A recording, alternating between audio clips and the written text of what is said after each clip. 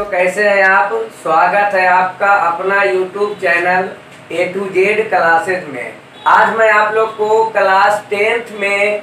अस्टैटिक chapter का वर्णन करने जा रहे हैं जो कि मैथ में बहुत ही महत्वपूर्ण चैप्टर है क्लास टेंथ के एग्जाम के लिए आप बिहार बोर्ड का तैयारी कर रहे हैं या सी e, या किसी भी बोर्ड का यूपी बोर्ड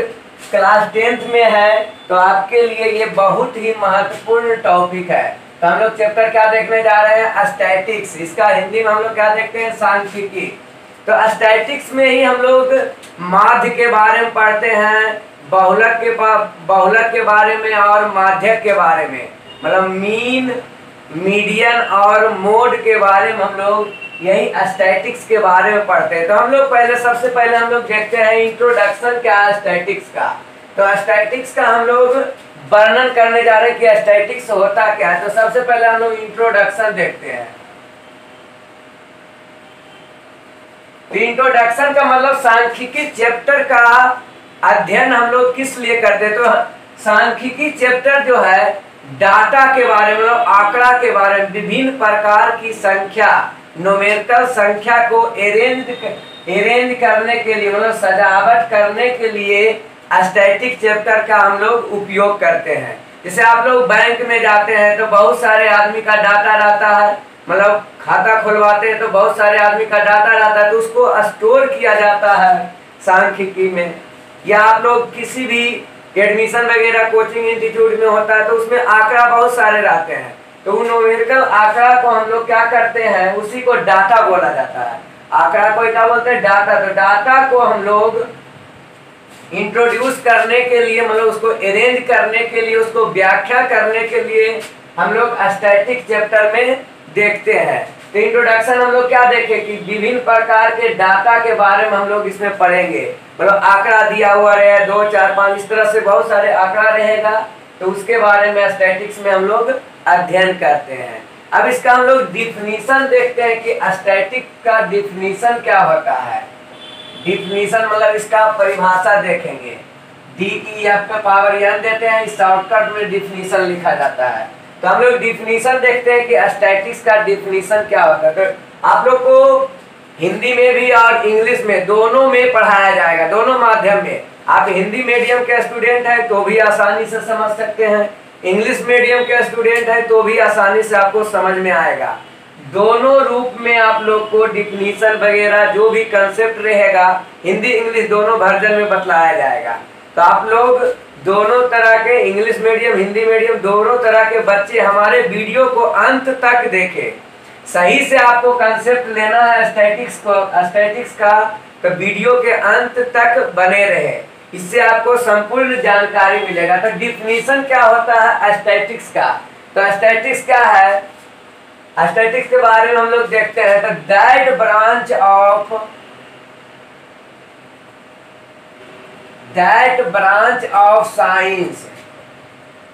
ये क्या एक साइंस का ब्रांच है साइंस तो का टाइप है that branch of science in which we learn in which we learn about about the collection क्या हम लोग देखेंगे the collection classification classification observation तो हम लोग क्या क्या देखे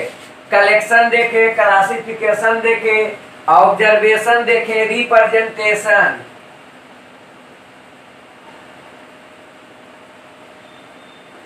रिप्रेजेंटेशन ऑफ डाटा तो हम लोग डाटा का रिप्रेजेंटेशन ऑब्जर्वेशन क्लासिफिकेशन कलेक्शन के बारे में जिस साइंस के ब्रांच में पढ़ते हैं उसे हम लोग क्या बोलते हैं एस्थेटिक्स बोलते हैं तो क्या देखे that branch of science in which we learn about तो क्या किसके बारे में हम लोग पढ़ेंगे तो डाटा का कलेक्शन करने के लिए डाटा का क्लासिफिकेशन करने के लिए डाटा का ऑब्जर्वेशन के लिए और रिप्रेजेंटेशन के लिए तो sir is called statics statics का डिफिनेशन हम लोग देखें कि जिसमें डाटा का कलेक्शन क्लासिफिकेशन ऑब्जर्वेशन और रिप्रेजेंटेशन होता है उसे हम लोग क्या कहते हैं स्टैटिक्स कहते हैं हिंदी में हम लोग क्या देखेंगे कि स्टैटिक्स का तो सांख्यिकी विज्ञान की वह शाखा है हिंदी में क्या देखेंगे इसका डिफिनेशन सांख्यिकी विज्ञान की वह शाखा है जिसमें जिसमें आंकड़ों का एकत्रीकरण एकत्रीकरण मतलब जमा करना कम वर्गीकरण वर्गीकरण मतलब बांटना डिस्ट्रीब्यूट करना वर्गीकरण उसके बाद प्रस्तुतिकरण प्रस्तुत करना मतलब रिप्रेजेंटेशन मतलब उसको सजाना प्रस्तुतिकरण कौमा विश्लेषण एवं व्याख्या किया जाता है व्याख्या की जाती है तो स्टैटिक्स में हम लोग क्या देखे सांख्यिकी का डिफिनेशन सांख्यिकी विज्ञान की वह शाखा तो कैसा शाखा है तो जिसमें हम लोग आंकड़ों का एकत्रीकरण जमा करते हैं वर्गीकरण क्लासिफाइड करते हैं प्रस्तुतिकरण विश्लेषण एवं व्याख्या किया जाता है तो उस शाखा को हम लोग क्या बोलते हैं स्टैटिक्स कहते हैं तो स्टैटिक्स में क्या होता है आंकड़ों को एक विशेष उद्देश्य के लिए एकत्र किया जाता है तो पॉइंट हम लोग क्या देखेंगे In statics,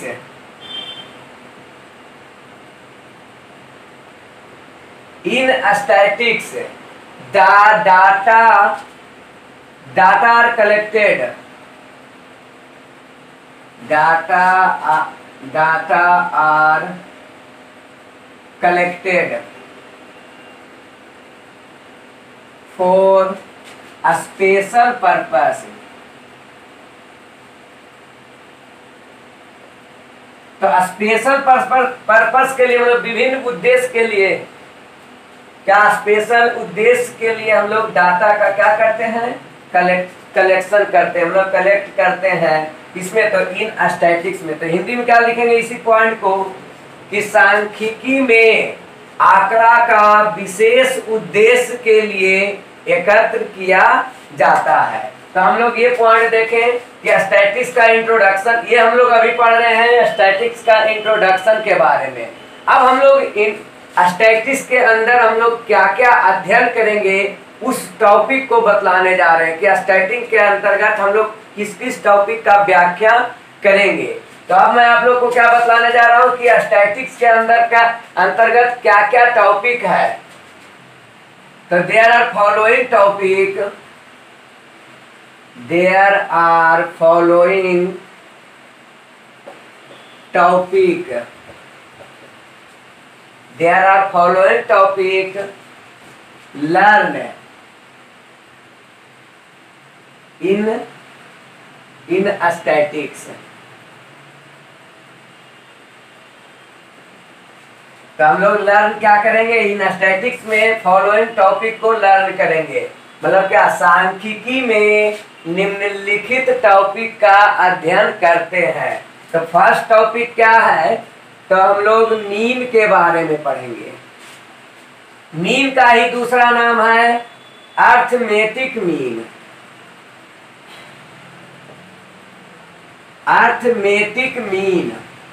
तो मीन या इसी का दूसरा नाम अर्थमेटिक मीन दो नाम से जाना जाता है मीन या अर्थमेटिक मीन हिंदी में इसको जानते हैं माध्य या समानांतर माध्य माध्य बोला जाए या समानांतर माध्य निकालने के लिए बोला जाए दोनों का अर्थ सेम होगा तो हम लोग क्या देखेंगे बच्चे माध्य के बारे में या समानांतर माध्य के बारे में ध्यान से समझिएगा कि हम लोग टॉपिक क्या है तो सबसे फर्स्ट टॉपिक हम लोग मीन या अर्थमेटिक मीन के बारे में हम लोग कंसेप्ट देखेंगे सेकेंड टॉपिक हम लोग इसमें क्या पढ़ेंगे स्टैटिक्स में तब मोड के बारे में पढ़ेंगे बहुलक बहुलक का हम लोग कंसेप्ट के साथ अध्ययन करेंगे नेक्स्ट टॉपिक इसमें हम लोग क्या पढ़ते हैं तब मीडियन के बारे में पढ़ेंगे मीडियन का हिंदी आप लोग माध्यक जानते हैं क्या जानते हैं माध्यक या इसी का माधिका भी बोला जाता है फोर्थ टॉपिक हम लोग ओगिब के बारे में पढ़ेंगे जिसको हम लोग तोरण बोलते हैं तो यहाँ पर फोर्थ टॉपिक देखे फोर्थ टॉपिक देखे मीन मोड मीडियन और ओगिब तो यहाँ पर हम लोग ये क्या देख रहे हैं ये सभी के सभी टॉपिक हम लोग स्टैटिक्स के अंतर्गत लर्न करते हैं तो ये तीन टॉपिक जो है मीन मोड और मीडियन ये तीनों टॉपिक जो आता है मतलब मीडियम तक त्वरण को छोड़ के ये तीनों केंद्रीय प्रवृत्ति का होता है केंद्रीय प्रवृत्ति मतलब क्या मिडिल में रहने वाला केंद्रीय प्रवृत्ति का होता है मतलब मध्य पॉइंट को दर्शाता है ये क्या किस पॉइंट को डिनोट करता है मेन पॉइंट मतलब केंद्रीय प्रवृत्ति को इसको बोलते हैं सेंट्रल टेंडेंसी टेंडेंसी तो ये ये तीनों सेंट्रल टेंडेंसी को होता है मीन मोड और मीडियन त्वरण जो होता है सेंट्रल प्रवृत्ति का नहीं होता है तो आप लोग के लिए यहाँ से एक महत्वपूर्ण इम्पोर्टेंट क्वेश्चन आता है क्या क्लास टेन के एग्जाम में फाइनल एग्जाम में आता है कहेगा निम्नलिखित में कौन केंद्रीय प्रवृत्ति का नहीं है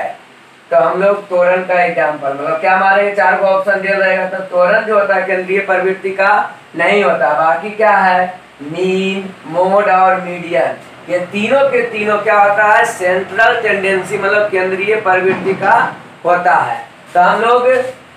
अभी इस टॉपिक में क्या देखे स्टैटिक्स का इंट्रोडक्शन और डिफिनीशन देखे नेक्स्ट वीडियो में मैं आप लोग को मीन के बारे में